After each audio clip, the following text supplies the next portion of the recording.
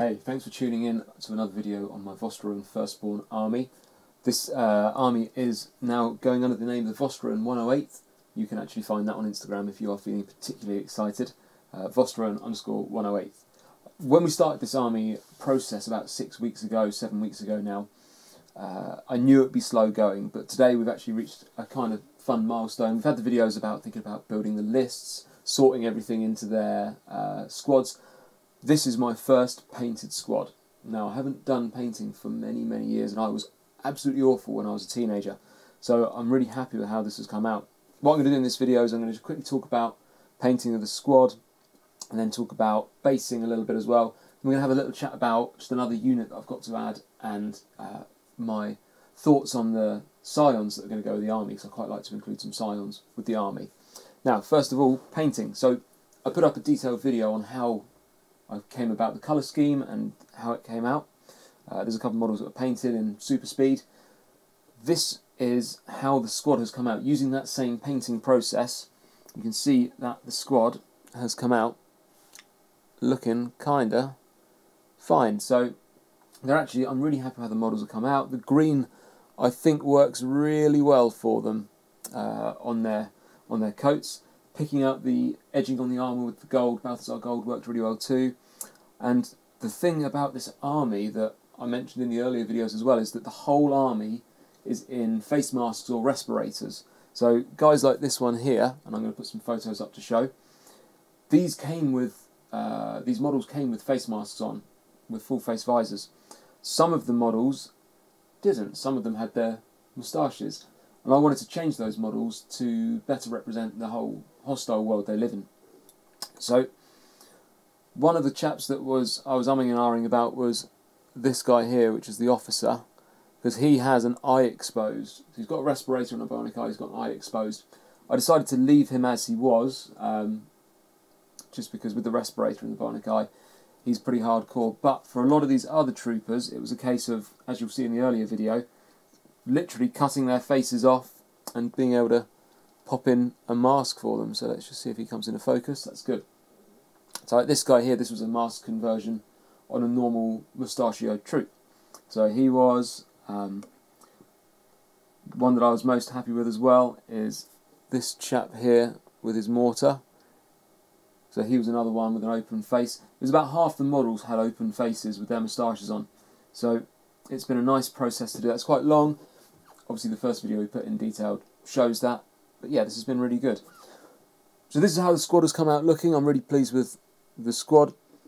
I've been talking about armour colour. A couple of people have commented on Reddit and stuff like that about what colour the armour is going to be. So one of my first ideas was to keep it fairly straightforward with something like this, which is a pretty standard drab green. It's not very exciting, so I think what I'm going to do is I'm going to paint up one of the tanks in a kind of white, grey, dirty UN style paint job just to see what it looks like and see if that sort of offsets the green of their uniforms really well because I think the problem is, is everything's a bit similar if you have the green uniforms and all your armour's green too. So that's where we're at with our squad. This is just the first squad that I've painted up uh, and converted. The basing, I'm going to go, I think, for something pretty basic like this, which is a Stirland Battlemire paint here. This is one of the uh, Games Workshop Citadel texture paints, uh, which I think has made a really nice, really nice base uh, look. And then there's a dry brush of Othron Grey on top of that, just a very faint dry brush just to pick out the tops of all these little dirty patches. So that's how that looks. That's, I'll do those on all the other bases as well, and then see how the squad looks. I know you can get really cool 3D printed bases of uh, walkways, factories. Um, a friend of mine at Ashdown Gaming's just started churning those out as well. So there are places where you can get these bases, but I think I'm going to keep this fairly straightforward and simple, uh, just with a, a, a, general textured paint uh, for flexibility and uh, not to take away from the troops themselves. Okay, so that's the squad. Just whilst we're here, the next thing I want to just mention is my love of the Scions models. So these are the guys that I have had as part of my list, and uh, they actually fit quite well with the Vostroyan theme because they've got these chest plates uh, with lots of gold being picked out, and it's a nice uh, a nice unit to have with the Vostroyans because it kind of fits their look. The problem is I really love the old Kasrkin models. These guys here, I'm just going to show onto camera now. So these are the Cadian Stormtroopers, the old uh, metal models. These guys all come with face mask respirators already, like you have with the Scions options of the heads. Um, and I really, I've always loved these models. I've always wanted to have an army of just these guys. Now, I was lucky enough to come across a box of unpainted, unmade Kasrkins. So these guys are all in here. There's a full squad, and if you look on the screen, you can see that you've got a couple of special weapons options. You've got a, a sergeant as well, who's sat here, and um, just move that out of the way so we have a bit less glare. Yeah, you have your sergeant, you have your special weapons. The problem is, is that these things are like gold dust for the decent special weapons, the plasmas, the melters. You'll pay 20 quid a model on the auction sites for them. Um, I was lucky, I picked up the flamer and the grenade launcher for a tenner, which was perfect.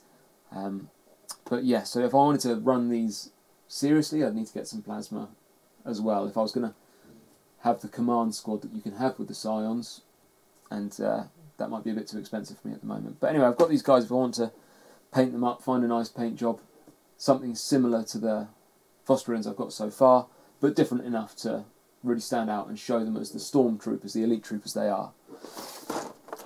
The only other model that I really wanted to mention, when I was doing the list building in one of the last videos, at the end I showed all the support units. One of the things that I got as a centerpiece for the army was a Valdor Tank Hunter, which is a really cool model, Forge World model. And it turned up and I thought this is really lovely. And actually, I fell in love with it so much that I decided to sell another couple of units of the army units and pick up one of these. So this is a Malcador Defender, which is another of the sort of 30k variant. So it's very old school, fits in really well with the whole Vostroyan theme and passing things down through generations. This has seven heavy bolters and a demolisher cannon all the way around. It's a bit of a beast. It's a real sort of powerhouse. And this, alongside the Valdor, give a really nice image, a really nice look to the army, and it gives it that feel of uh, an army still a little bit stuck in the dark ages uh, from the grimdark uh, meta. So that's the video today. If you like what you see with the videos I'm doing in the army building, please do like and subscribe, uh, and then you'll see the new videos when they come out. You don't have to share anything. It's nice if you do. Uh, or check me out on Instagram and have a look, Vostroyan underscore 108. And then, uh, yeah, thanks for watching and we'll see you again.